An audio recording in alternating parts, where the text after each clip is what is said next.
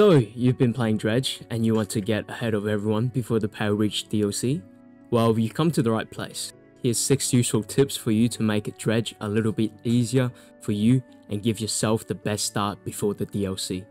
The first tip is to help you make the game less tedious. Remember all the spells you get from the collector? Well, they are actually super useful in the game with little to no repercussion.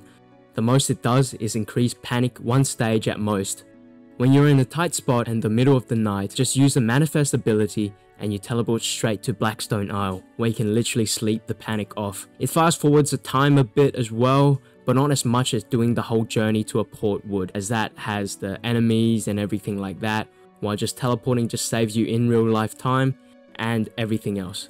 Uh, the second is the Banish ability. It's a lifesaver when you reach the notoriously horrendous island that is Devil's Spine. Those damn little fish are like heat-seeking missiles with how fast they can attach to your ship and slow you down but with a well-timed banish spell, the fish and its mother literally can't do anything to you.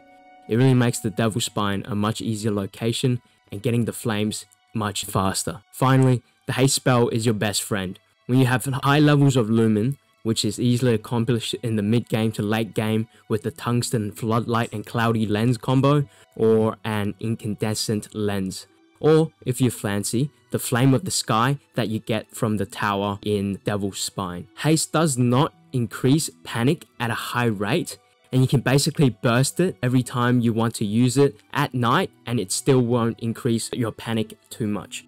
Where it shines though is the daytime. Since daytime decreases panic, along with the lights turned on, you can use haste forever basically without worrying about the panic and makes the journey across islands so much easier. Second tip is to help you fill out your encyclopedia easier. If you have a specific aberration that you want to catch, but can never catch it conventionally, well there's always the option to use atrophy spell, which will basically guarantee aberration of the fish you used it on.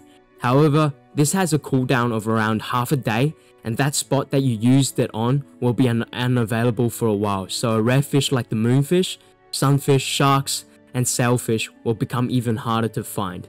If you don't care about the money you get, there's also a secret way too. If you get an infected fish from fishing or at night time when something slithers on your boat, the infection can spread to your other fish in the cargo. Usually this makes the other fish decrease in price, but if you have a golden fish of the species you want an aberration for, you can place that next to the infected fish and wait a few hours. And when it gets infected, there is a high chance that it mutates into an aberration of that fish. This just makes it easier to finish the encyclopedia easier. Okay, on to tip number 3. Panic at nighttime in this game is actually quite harmless in the mid game. You shouldn't be afraid of the night in this game prior to the DLC, as the only things that can damage you are actually not that common. The red flounder, the phantom shark, aberration waterspouts, deep sea tentacles, and the boat angler are the only ones that can hurt you. This is especially useful in the early game where you want to maximize your profits in the day and start finishing the encyclopedia as fast as possible, as nighttime fish are worth a bit more than their daytime counterparts and aberrations are easier to see as a chromatic mist hovering above a fishing spot is easier to spot in the nighttime. As for after the DLC, well that we will need to find out as they might increase the difficulty of the nighttime with more enemies or something else. Uh, we'll just have to find out when the DLC releases later this today. Tip number 4 adds on to tip number 3, as panic can be beneficial in the game. Remember those black stones that dot every island and is basically useless when you touch it when you're insane? Well, with a high enough panic, these stones glow with a red aura and can now give visions that explain the lore of the island and are quite interesting to read if you love the Lovecraftian feel of this game. Oh, also be wary of that crab that imitates one of the stones. He scared the shit out of me when I encountered it thinking it was just another rock.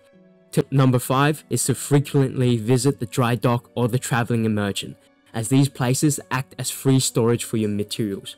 When you go out and do a dredging haul for a day instead of just storing all your material in the storage space that you have and cluttering up everything for other important items. Uh, once you fill them all up, then you can always just upgrade and then you have even more space to store your materials. And if you completely upgraded your ship, well then you don't even need the materials in the first place. You can just sell those to the shipwright for a bit of change, but at that stage of the game, you're basically set on money and you don't really have much to do anyways. And last but not least is tip number 6. For those people who love to collect the crabs for the paint or fish for the Shadow Wizard Money Gang on each of the archipelagos, here's something that will make it 10 times as easier and also helps you complete the encyclopedia a bit faster. First is to finish researching the trawling nets. The one that you need for completing the encyclopedia and for the most space is the final unlock, which allows you to trawl oceanic fish. There are three unique species that cannot be fished, and those are the aurora jellyfish, anchovy, and scarlet prawns. These three still elude me in my playthrough as you need to infect them or trawl an aberration as there is no other way to get these three fish. The trawling net also allows you to store fish in there to keep fresh. To do this, you must put them in the storage and then store them again in the net. This keeps them fresh forever and you won't have to worry about your fish rotting away into nothing before you reach the painter or before you reach the four wizards that you say. They're not wizards, they're more like cultists, some weird like amalgamation of uh, something, I don't know what they are at that point. They're just like monsters, I think. And also, due to the new updates, they also don't have limited time quests, so you can take as long as you want to get those fish, as they won't starve in the new update. However, you still need to remember not to sell all your fish at the same time if you have them in your net. Uh, this still gets me every time. Sometimes I always just sell all and then my aberration crabs or the fish that I need, they get sold and you can't get them again. So you have to be careful of that and it's the only few times I rage at myself and at this game. Thank you so much for watching this and hope everyone enjoys the Pale Reach DLC when that comes out and hope everyone enjoys the rest of your day. See you next time.